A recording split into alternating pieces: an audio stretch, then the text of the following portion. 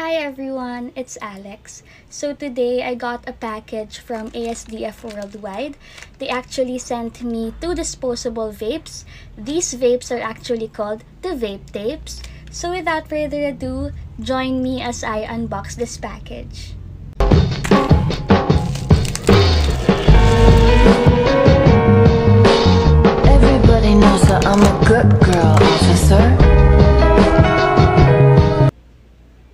So this is what it looks like. It also comes with a lanyard. So if ever you're interested, I'll be leaving more details in the comment section.